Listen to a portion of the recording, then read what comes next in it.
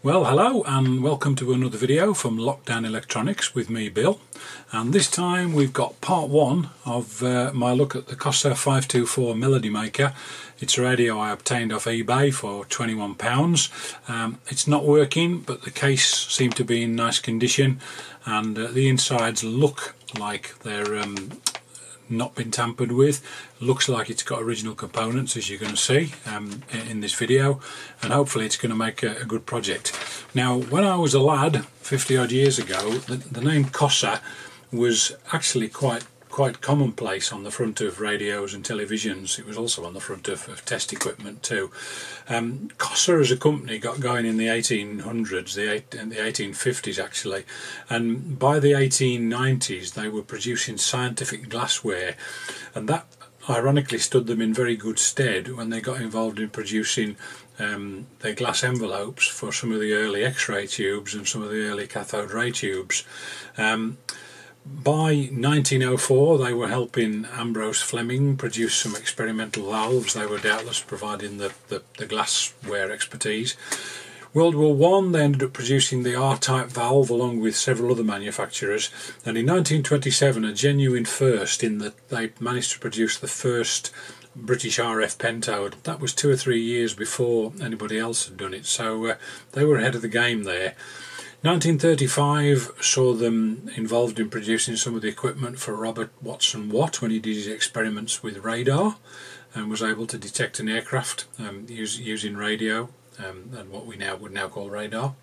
Um, in the Second World War, they were heavily involved in producing equipment for the Chain Home radar system, which was located all around the UK coast and formed a very a very potent um, set of uh, source of information for, for our air defence system in, in World War II. After the war, lots of production of radios, and this particular model, the 534, was actually produced in 1955, and in 1955 was also the year that the BBC started broadcasting in FM and this particular model is an AM receiver, it has shortwave, medium wave and long wave but it also has FM and um, if you look at the circuit diagram uh, the FM bit just appears to be just uh, just a part of the circuit really. Um, but actually that FM front end and FM oscillator is actually an entirely separate bolt-on piece just here, that's that vertical bit fully enclosed with one valve that's a double triode acting as the oscillator and also as the, as the RF front end. And the rest of the radio is a conventional three band uh, AM super het except for the fact that these IF transformers are actually dual transformers. Uh, one one pair for the four uh, 60 kilohertz IF for the AM and another pair for the 10.7 megahertz IF. They share the same valves, um, but they have a slightly different uh, signal path depending on the IF frequency. And when it comes to detection, obviously detecting AF is uh, sorry, detecting AM is relatively straightforward. Just requires rectification. Detecting FM is a little bit more difficult and so there's a little bit of extra circuitry uh, around the detector valve, it's a double diode triode here. Um, but then we're back into a fairly straightforward um, uh, pentode um, AF output stage. So um, interesting radio and uh, in 1955 the A sorry the FM VHF broadcast band ran from 87 to 100 megahertz these days it runs from 87 to 108 megahertz. So this radio just does that 13 megahertz portion from 87 up to 100. Fortunately in the UK that means there's lots of stations in that area. So hopefully it's going to um, produce a, a good sound on FM assuming of course I can get it working. So let's take a look at the radio itself and see what um, what it is that awaits us. Okay, well here we are with the first look at the Cossor 564 Melody Maker which has arrived today. And as expected really the uh, case looks to be in reasonable condition. The uh, dial glass is uh, readable. I can uh, tuning seems to move fairly fairly smoothly yeah. We've got a four position switch here for uh, FM shortwave medium wave and long wave. A little stiff but particularly when getting into the FM section but I'm sure that's sortable. And this end we've got a on off. Um, cloth doesn't look too bad. Uh, case is good. So next thing to do is um, have a look what it's like inside. Okay well here's the back of the radio and uh, we've got a FM dipole there which uh, unplugs. Um, a little bit tarnished but it's okay. And uh, first thing to note is that's not obviously not the original mains lead that's quite a uh, modern piece of cable as is the the plug. Fuse 13 amps I think we'll have to put a slightly smaller fuse in than that um, if 13 amps is indeed what's in it. So there's a couple of screws here to remove um, and then we can uh, we can take a look inside. They're fairly rusty um, and crossheads so be surprised if the originals were crossheads but you never know. Okay uh, let's see what we've got.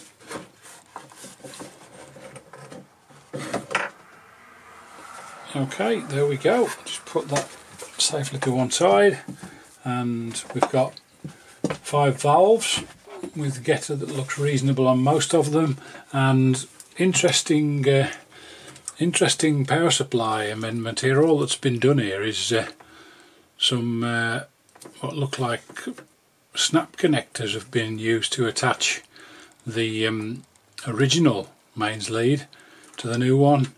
Uh, and there's an earth connection been made so let's hope the chassis um, is indeed earth. There's a wire hanging here that's the external uh, loudspeaker socket. Um, looking at the, the speaker um, actually looks to be in reasonably good condition from from this angle a little bit rusty on the on the body but um, looks okay apart from that. Substantial main transformer output transformer and if I move the tuning yeah I can see the vanes of the tuning capacitor moving there. So what we've got here is um, AM power supply and the audio sections are all on this chassis. And this um, box here is the FM so there is a sixth valve in there um, and there's a a connection the FM tuning is done by moving coil rather than capacitor. So there is apparently a, a connection according to what I've read so far. So that looks um, pretty reasonable. Looking at the date on that electrolytic capacitor there it's saying 1955 so 1955 is about the right year so hopefully that's um, that's original. I'm sort of hoping for an original radio after the last one, which was very modified. Um, and looking underneath, um, probably can't see terribly well on the camera, but um, yeah, that looks certainly the resistors are original. Not sure about that that electrolytic there. That might be modern.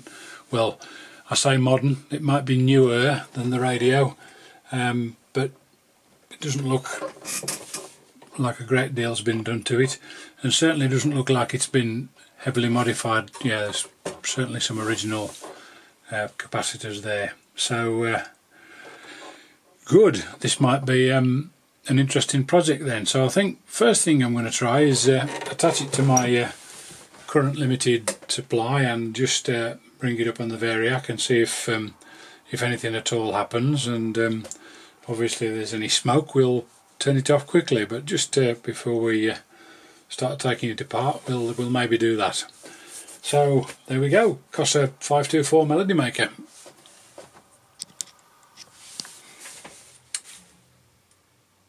Okay, well here we are with the chassis uh, out of the case. And uh, obviously very grubby. Um, but apart from that doesn't look um, doesn't look too bad. Um, and I've just removed a little uh, actually a crosshead self-tapping screw from the FM board. Um, so they clearly did use crosshead screws back then. So that's the the FM board.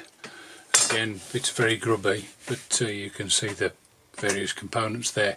And I've done this because I just wanted to show you the uh, obviously you've got the tuning coil here which tunes the variable capacitor which is behind the FM board. You can't see it from this camera angle. Um, and as you tune the AM part of the radio, the big variable capacitor, these two uh, lines here uh, move in and out. Um, and they're spring loaded there and there. Um, be, be, quite hard to see on camera. I'll just see if I can move in a little bit for you that's about the best I can do. Um, but that is the the FM tuning. So as one pulls in the other pull, pulls out. And um, so that spring's extended and that one's now uh, beginning to extend and this one's uh, getting shorter again. So there's a couple of extension springs there. Um, so certainly a interesting uh, interesting way of doing things. And um, yeah still seems to be remarkably still seems to be working okay. So um, plenty of um, uh, dust and spiders webs and the remains of a few of the spiders who probably built the webs too. As one there just to to remove.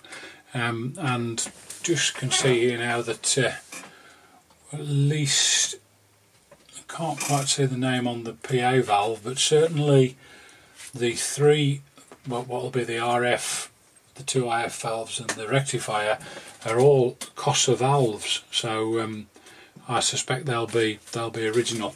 I don't know if I can get the cover off the FM1 very easily and see. Uh, that isn't a Cossor valve. What's that one? Uh, let's just see if we can have a look. That is a 6A06 um, Tungsram uh, radio tube it says. Uh, foreign made. Um, Getter looks okay. So that's the first that's the first uh, view I've had of that. Um, so there we go. That's the sort of the end view of the um, FM board. So uh, let's just swing it round a bit and um,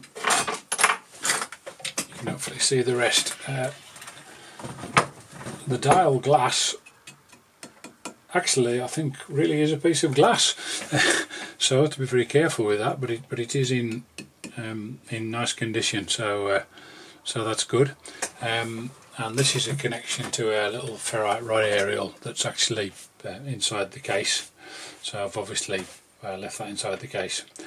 Um, and let's just now have a look on the bottom being very careful with that with that dial light. Um, as you get very grubby so I've got some waxes here. They're definitely going to have to go a few down there as well. Um, not sure about that one. I don't know, I don't know what year that is. Um, that'll that looks like it's original.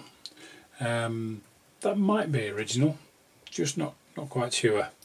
Um, but the rest of it uh, looks original and some pretty uh, big wattage resistors there as well so uh, that's going to tax my component sourcing skills I guess. Mind you they may be okay but um, just depends um, what they've been doing. They usually seem to go quite high in my experience uh, when they start to fail. So, um, good. Pleased with my purchase and uh, another project to get going with. Um, might try and get the uh, Ekco uh, 134 finished before I uh, make a start on this because I've been making quite good progress with that so uh, we'll just have to see. But at least this one's um, an AC version with a with a transformer unlike uh, the other one which is a AC or DC and it's a few years older. So there we go. That's the first look.